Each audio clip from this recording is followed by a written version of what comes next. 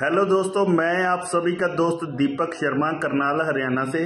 और दोस्तों, आज मैं बिहार पूर्णिया के अंदर हूँ और हमारे साथ बहुत ही professional doctor mister Sanjeev Kumar ji हमारे साथ हैं, जिन्होंने रेनाटस फ़ूड सप्लीमेंट को यूज़ किया है और अपने कई पेशेंट को भी यूज़ करवाया है। क्या आउटपुट आई है? क्या रिज़ल्ट आए हैं? डॉक्टर साहब अपनी ज़ुबान से खुद बताएँगे।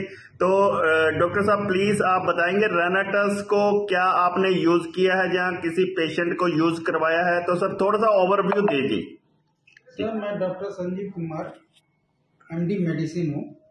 और मेरी मेडिसिन एलोपैथिक काफ़ी अच्छी प्रैक्टिस में है। मैंने बहुत सारी बीमारियों को देखा जिसका इलाज हमारे मेडिसिन में संभव नहीं हो पाता है। खासकर chronic diseases, depression, insomnia, arthritis, spondylitis. जब तक आप ट्रीटमेंट करते हो, थोड़े दिन का फ़ायदा होता है, फिर वो वापस आ जाता है। मैंने खुद, मुझे पैर में, एड़ी में काफ़ी दर्द हुआ करती थी। मैं डायबिटिक हूँ और हाइपरटेंसिव हूँ।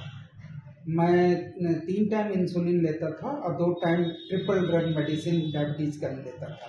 पिछले तीन महीने से मैं इस दवा को यूज़ कर रहा हूँ दो कैप्सूल दो बार। और तब से मेरी इंसुलिन छूट चुकी है मेरी डायबिटीज़ की मेडिसिन एक टाइम हो गई है।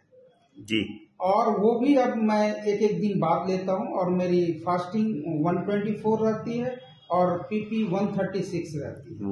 तो मतलब मेरी डायबिटीज़ कंट्रोल में आ गई है पैर का दर्द खत्म हो चुका है।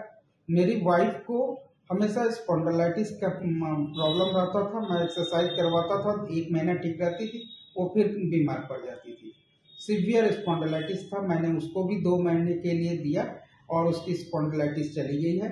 स्किन पे ये इफ़ेक्ट लेता है देरी से इफ़ेक्ट लेता है।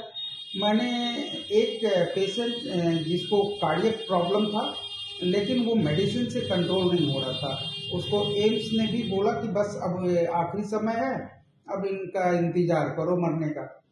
वो यहाँ वापस आए। मैंने उनको यूँ ही दे दिया कि आप रेना टेस्ट ट्राई करो और